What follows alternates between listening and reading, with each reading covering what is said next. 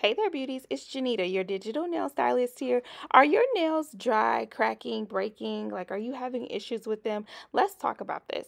So, here's a client I've been working with for the last three months, and I have had the pleasure of just helping her grow out her natural nails. She's been so elated, so excited about the journey. So, this is about the third time that she's come in. She typically comes in every three and a half, four weeks.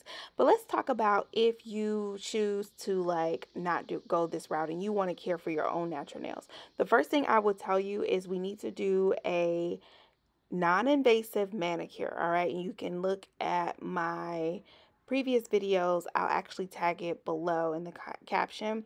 And I'm going to be sharing some tips in the caption below, so check that out as well.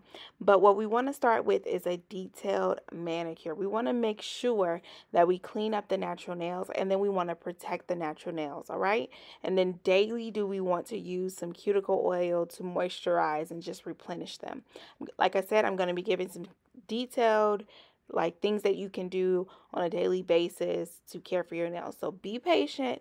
It can happen for you as well. I'm excited to take this journey with you. Thanks for letting me tag along.